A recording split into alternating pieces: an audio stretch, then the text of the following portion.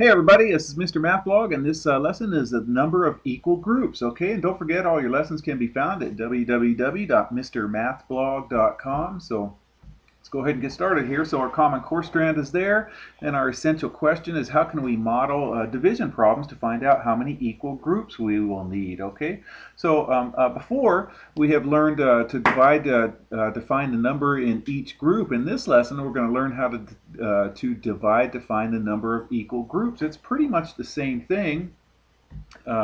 We're going to use groups of hats here, and you can hear my fire. I got my fire my fireplace uh, snap, crackling, and popping in the background. So it's uh, it's a cold December night here where I am. So here's an example.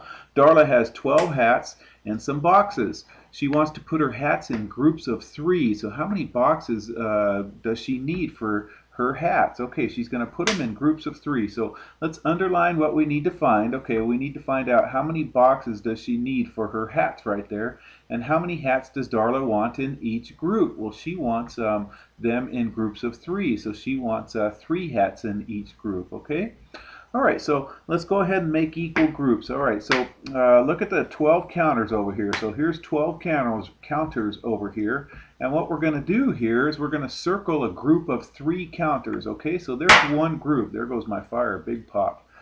So, um, uh, so that would be one box right there with her three hats. She wants to put three hats in each box right there. So we're going to continue to do this, you guys circling groups of three until all the 12 counters are counted. So there's another group of three right there. There's another group of three right there. There's another group of three right there. So it looks like we have one, two, three, four groups of three right there. So uh, there are four, or uh, I'm sorry, I put four up there. This should be, there are four groups of counters in here. That's a four right there. So Darla's going to need four boxes for her hats. Okay, she's going to need um, because uh, she's putting three in each box right there. So I got a little mixed up. So there's this would be a box, this would be a box, this would be a box, this would be a box. So this would be four boxes for her 12 hats, and she wants to put them in groups of three.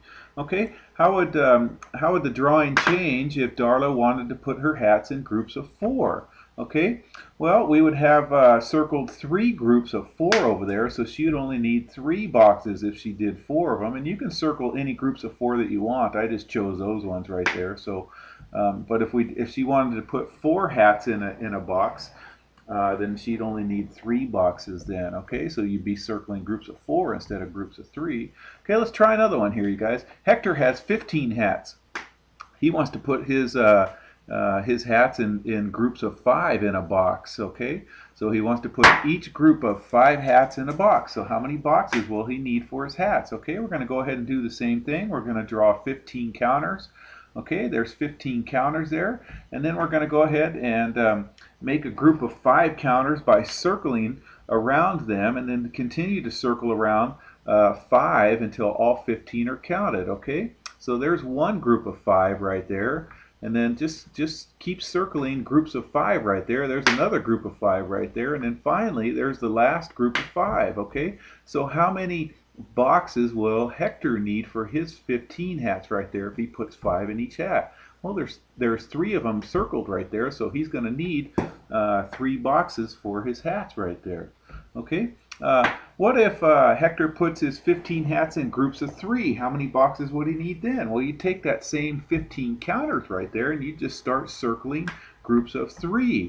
So if you circled groups of three, we'd have one, two, three, four, five. So Hector would need five boxes for his hats. Okay, that's all in the, there is in this lesson. I hope that makes sense and take care, everybody.